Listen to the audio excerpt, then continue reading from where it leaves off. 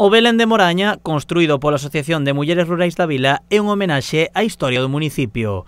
Nesta recreación do nacemento, Xesús está rodeado polas diferentes parroquias de Moraña e polo centro da vila. O primeiro ano empezamos representando as iglesias de, de cada parroquia.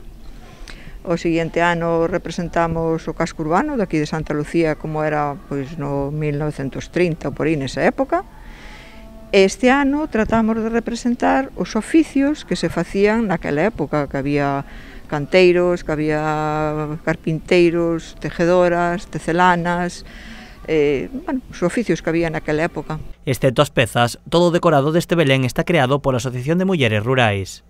Bueno, que non axuda dunha maneira, axuda doutra. Isto está basado todo feito en por de alta densidade, o cal temos que, bueno, colles a plancha de pores e dai parte todo, tens que empezar a cortalo, tallalo, pintalo, pegalo, montalo, todo así, menos as figuras, que é o único que nós non fixemos, o resto está todo feito a man. O Belén inclúe pezas en movimento como un muiño e luces. Nestas partes tamén colaboran os maridos das mulleres rurais. Este chaval que fixo o muiño, que se chama Noli, está con nós dido primeiro Belén porque ele é o que se encarga de poñernos as luces, de facer o montaje das mesas.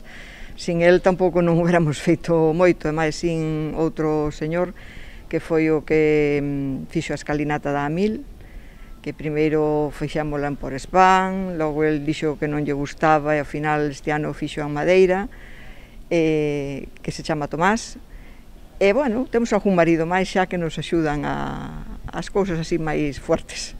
Pero bueno, o que é o a, as estruturas e todo iso é feito por, polas mulleres rurais. O Belén pode visitarse no multiusos de Moraña ata despois de Reis en horario de 5 da tarde a 9 da noite e os domingos de 12 a 2.